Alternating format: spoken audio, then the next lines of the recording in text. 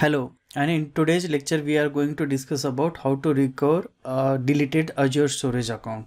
This generally not happen in the production environment because we follow the standard uh, and best practices for the storage account. Like we we assign the RBAC role for each and every user. And on top of that if you use the and enroll the policy on the resource group level for your resources should be lock okay if you enable this lock so that no one can delete any resources from the particular resource group.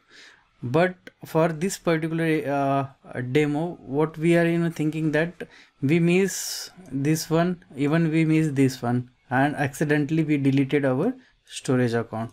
Okay so in that case how we can record that particular storage account? Yeah definitely we can record the deleted storage account but if that match the conditions. So condition number first is that your storage account within a 14 days from the date day it was deleted. So if it is you cross 14 days and means it is 15 days then you will not able to recover your storage account. So within 14 days we can recover our storage account.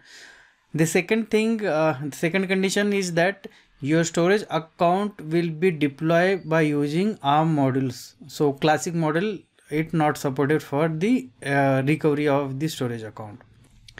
Next one is that this once like you know if your storage account has the name like ABC it's your storage account name so make sure that this name was not been uh, created or taken by anyone who created the storage account on the Azure or because our whatever the storage name that we are going to assign for the storage account that is, that should be unique. That's why this requirement uh, this condition is there.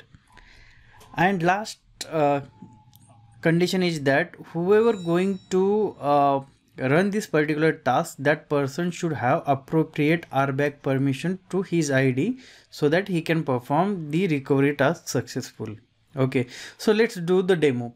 What we can do we can delete a storage account and then we try to recover that particular storage account in our demo part. So be tuned so now we are on the azure portal and this is what the storage account uh, that's we are using for this storage account for our demo, demo purpose. So let's check you know what's there in this particular storage account. If you go into the container i have created one container here with the data and here there is one file called demo.txt so again let's go into the you know storage account and let me click on the review. And here i am going to delete this particular storage account. Okay here we need to specify the storage account name as we are deleting it. So let me copy this particular name and let me put it here so that uh, this uh, delete button will be enabled. And let me click on the delete so it's validating our uh, deletion operation. Uh, once it is validated it's uh, already validated and it's deleted our storage account if you see here the option uh, your account is successfully deleted.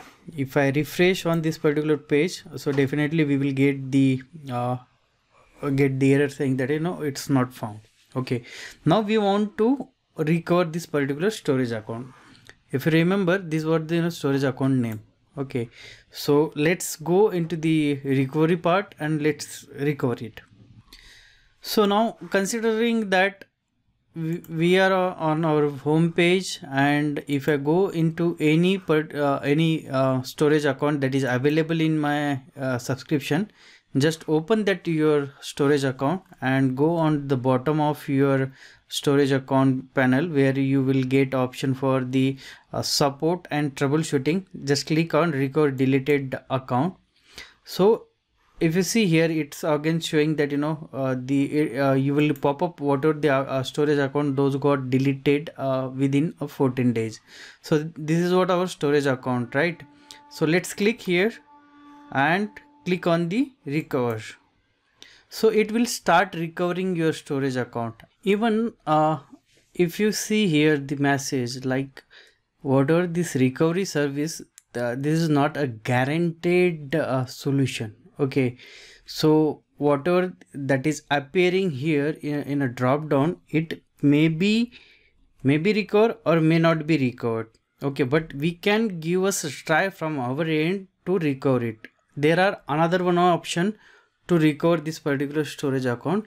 And that option is that you need to raise a ticket with microsoft so that they can recover your storage account. Again the condition will be applied to that particular storage account like what are the condition that we discussed in the first slide. All those condition will be applied. So we, we can you know utilize this particular option and we can give a try from our end to recover it on the first place. If not then raise a ticket so that's it for this lecture guys. I hope it will you know help you out in your career. Thank you